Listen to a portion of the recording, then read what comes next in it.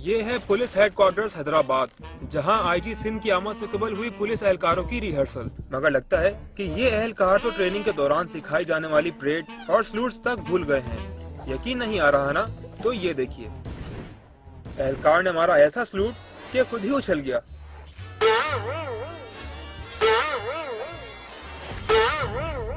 ये साहब तो लगता है कि परेड की अलिफ बे भी नहीं जानते, और ये रहा इनका स्लूट इन्हें देखिए।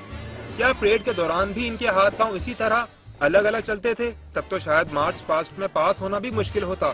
मगर क्या कहा जाए, लगता है पुलिस के महकमे में सब कुछ मुमकिन है।